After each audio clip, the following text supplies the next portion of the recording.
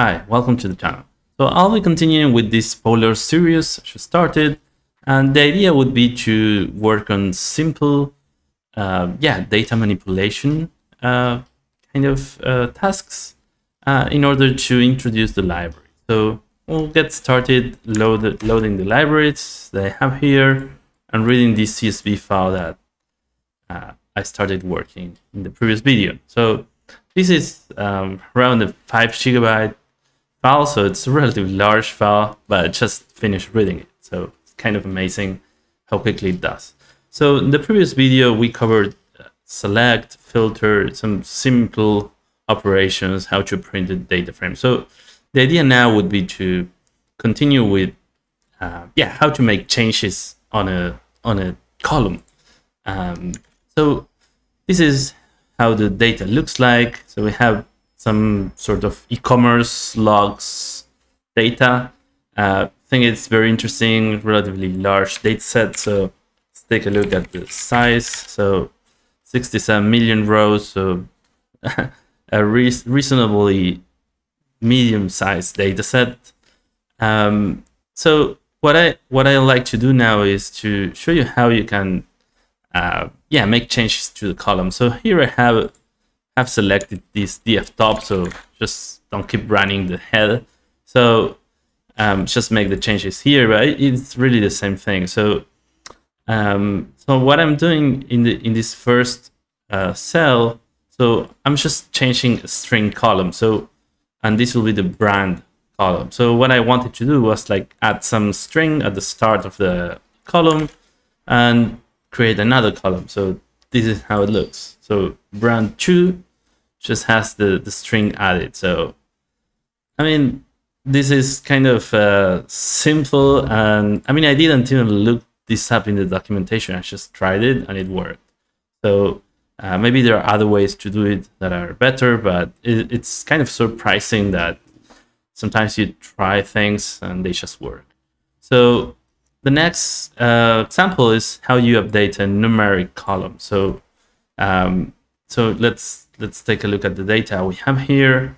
So okay, I keep the same the brand operation that I did before, and here I just multiply the price by 100. So PL col price times 100. Um, and what happens is that these two columns get added. So one of the differences that uh, the Polars developers say that uh, they have compared to pandas is that when you do more than one of these operations, they are done in parallel. So uh, that that's faster. And in pandas, you kind of have to do them sequentially. Um, I mean, in, in, practical terms, to me, that's not the most important aspect.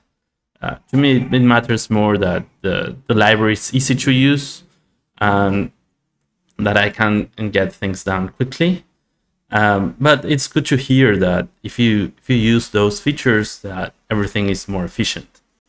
So, so this is about you know adding some columns and just making some simple changes. Uh, I think you, you should have noticed by now that we're repeating the, the all the columns that we had before. So um, there's there are multiple ways to do that. So uh, so you can do that with with columns, right? So you grab you have the data frame here and you do that with columns. So that brings you back all the columns of the data frame.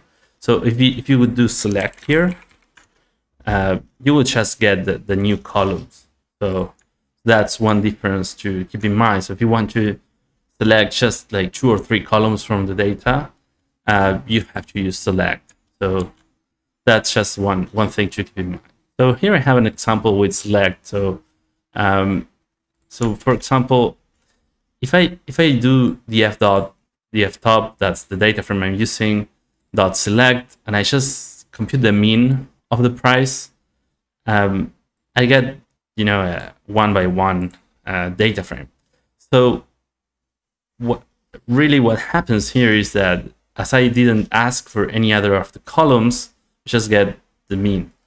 But if I would do this PL all that it's a way of saying like bring all the columns like if you if you do in, in SQL like like the asterisk um, so here it will add it this average, this price average, it will add it as a column. It will broadcast it. So basically, that means it repeats the value in all the rows. So this is a nice thing to to know about. So basically, we have done these three operations, just adding you know a string to another string column, uh, multiplying a, a variable. Um, this uh, just multiplying by, by, by 100 the price. Um, just going to run this again so, so you can see it here, price 2. And here I just computed an average on, yeah, just a global average. Um, so maybe this is not really the most interesting use case. Maybe you want to take the average on a group and add another column. So that's what I show here in this example. So and I think this is really one of the things that I like the most of the library, how easy it is to do this. Um, so in pandas, you generally do this with a transform. Uh, Polars, they're calling this uh, window function. So, and it's kind of similar to how it's called in SQL. So it's a similar terminology. If you've used R, this is kind of done by mutate and group by some mix of both. Um, but the idea is uh, here I'm explaining it a little bit better that the idea is that you have some sort of variable that you're interested in grouping by and you want to do an operation on that group but you want to return the, the, the aggregation on the same size of the data frame so so let's take a look at, at this with an example so here I'm going to do the and okay this is the data we're using so the first idea is to uh, yeah do df with columns. So we bring back all the all the other columns, and we do pl col price. We first take the mean. So if I would if I would just do that, we would just get uh, the mean, right? So um, okay, it, it overwritten it, uh, but price two. Um, so we get the kind of global mean on all the data. So if I do over category code, then I, I, am taking the mean by this column. So uh, calling this price by category. So, and this is kind of um, interesting operation that's really easy to do.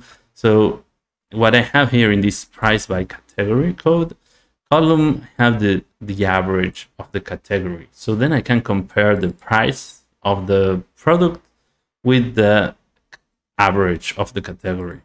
So, uh, and this is what a window function is. So um, it, it's kind of like a group by, but uh, you can you kind of first do the group by and then you join it back to the data. So um, so here I have this computation and what I wanted to do next is this kind of idea that just described. So what happens if I compare the price to this average of the category? And, and this is what I've done here. So um, so here I'm using select because I just want to, to get a few of the columns, not all. So I want to get the category code, I get the price, then I get this price by category.